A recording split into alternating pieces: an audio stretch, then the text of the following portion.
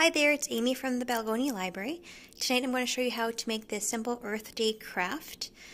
Um, so what I did is I went online and I found a template of the Earth, just a simple circle one, and then I just typed on top Earth Day 2021.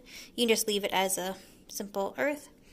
And then all you, else you need is uh, two half pieces of construction, construction paper, a green and a blue, green for the land and blue for the oceans, of course and I have a little red heart to put in the middle afterwards.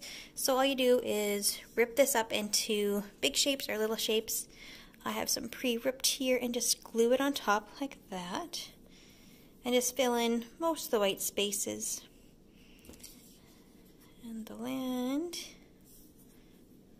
I glue those all down. And then when you're done gluing, all filling in all the land and all the water, uh, you can put on the red heart and it'll look like this. So these are available to pick up at the Balgonie Library. Um, they're just outside our doors, so you can pick them up during business hours. And uh, yeah, have a great day. Bye.